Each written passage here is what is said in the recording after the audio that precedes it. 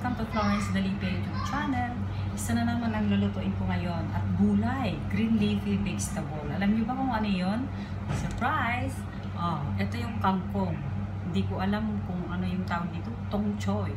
So, tong choy, napakasimple lang ang luto. Una, maraming bawang at shrimp paste. Yun lang ang kailangan natin ngayon. Okay, paano?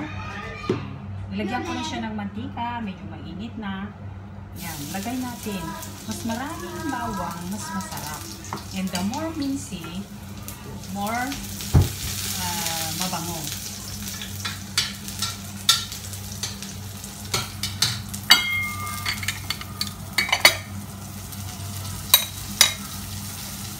Okay, so dating ihanda na natin.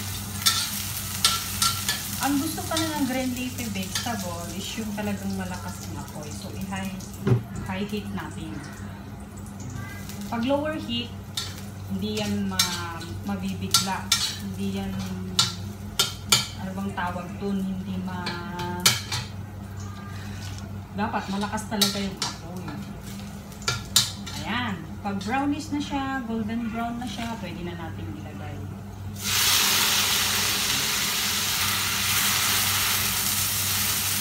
Halo-haloin muna natin para yung mantika ay halo dito sa may bangkong.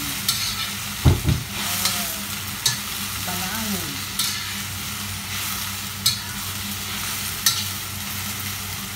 Okay. May halo na yung mantika saka yung bawang. Pwede na natin lagay. Itong sa ganito, hindi masyadong maalat. Kasi maalat din ito. Shrimp paste na tawag. Yan, shrimp paste para sa kangkong or choy talaga. Okay, para medyo may sabaw, may halo natin yung shrimp paste. Yan, a little bit chicken broth. So, mix, mix, mix natin. Hmm, ang bango.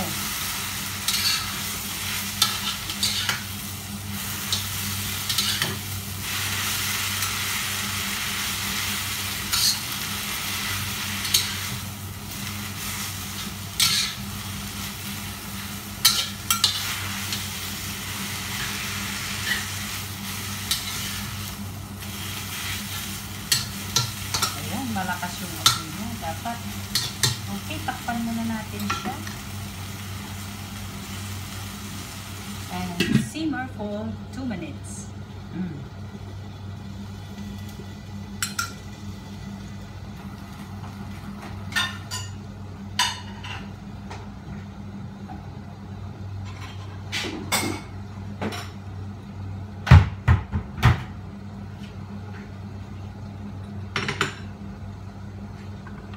Okay, sinup-sinup na tayo para matapos na ang pagluluto. Konti na lang din ang trabaho. Pag naghain na ako, konti na lang ang huhugasan ko. Ayan. So, ligpit-ligpit. Ito, dahil open na siya, yung ketchup, dalhin ko na siya sa may uh, ref.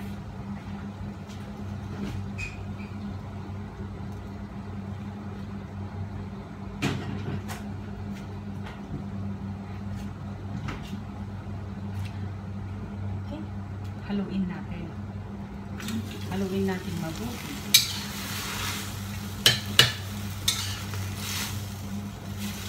Ewan ko kung gusto ng mga amo ko ito na mag-asawa. Kasi first time ko palang nilit sila na dito ng ganito eh. Nagluluto ako, gaya kanina, kaya lang dun sa matanda. Eh, eto ngayon yung kokoy. Ayan. Ang pagpala ng kangkong, pag, pag iluluto mo, marami siya. Pero pag after na naluto, ayan, lumiit na siya. Ayan. Dapat hindi masyadong luto. Dapat din meron pagka-crunchy-crunchy para may nunguyain sila.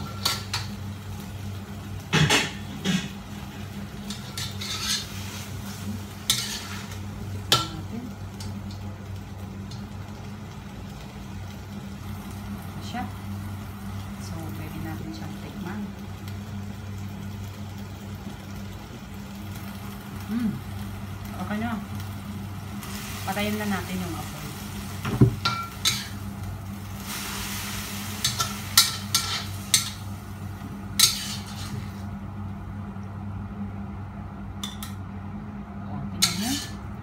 ang laki-laki yung lagayan ko. Pero pag after na naluto na pala, naging maliit siya. Okay, ito na si kangkong. Tong choy with shrimp paste. Yan. Mm, ang sarap. Titikman niyo? O, sige.